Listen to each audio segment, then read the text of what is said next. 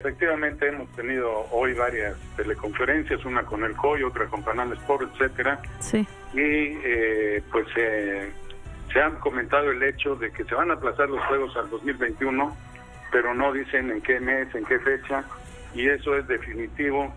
Sin embargo, nos han hecho saber que no lo pueden hacer hasta que no se haya ya hablado detalladamente con el gobierno de Japón y con las federaciones internacionales para poder fijar una agenda y que quede ya lo más eh, clara posible. En primer lugar, te quiero decir, esto obedece a una regla del COI y una regla también de la Federación Internacional de Fútbol. Sí. Sin embargo, ante una excepción como esta que estamos viviendo hoy, que verdaderamente ha sido histórica y un referente de la misma en la era moderna de los Juegos Olímpicos, seguramente se va a plantear el hacer algunas excepciones.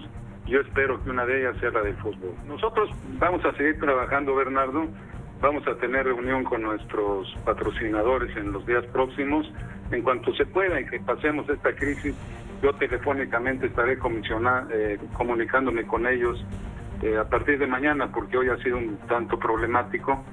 Pero eh, yo espero que estos patrocinadores todavía nos sigan apoyando hacia el 2021 y, por lo que respecta al, al, aspecto que podemos hacer directamente el Comité Olímpico Mexicano por los atletas es en, en buscar con solidaridad olímpica que nos den becas, que nos apoyen con campamentos, pero el gobierno federal tendrá ya que destinar una partida lo suficientemente importante para que continúen los que ya tienen su plaza ganada y tienen nombre en su preparación rediseñar junto con las federaciones nacionales, de acuerdo a las nuevas reglas, eh, los programas para llegar en su mejor momento de la curva de preparación.